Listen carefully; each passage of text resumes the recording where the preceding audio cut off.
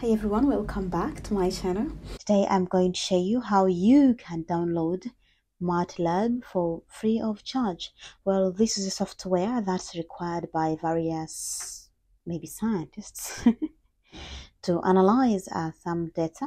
So um, what you're gonna do, I mean, this is for students definitely, unless you are working under a certain organization that can provide the software for free. So uh, the first thing we're gonna do is to go to Finder. Well, yeah, this is um, the uh, the procedure for those who are using Mac. So you go to Finder, then from there you'll go to Apps. Of course, you have so many apps on your Mac, but you'll have to choose Managed Software Center, and from there you'll just uh, go look for MATLAB. Yes, perfect. So there uh, is MATLAB and you install it.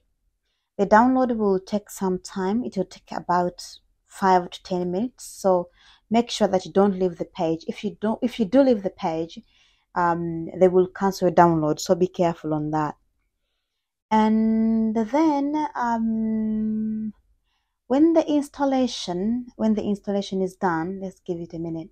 It will be quick. It will be quick quick. Yeah done. Yeah when it's done they will just show you they they might show you any updates just have to click and check updates but if there is no any any other update you will just have to go to the applications again and check for MATLAB because it's, it's downloaded there. Then you open MATLAB and uh, once you open it it will bring the um, it will bring the um where is it? Yeah matlab. Yeah it will open and it will bring this is it called a working directory? I've done some not coding but what was it called? I have forgotten the course. Yeah the working page. And yeah you'll be ready to start. So good luck guys. That's all. I mean so simple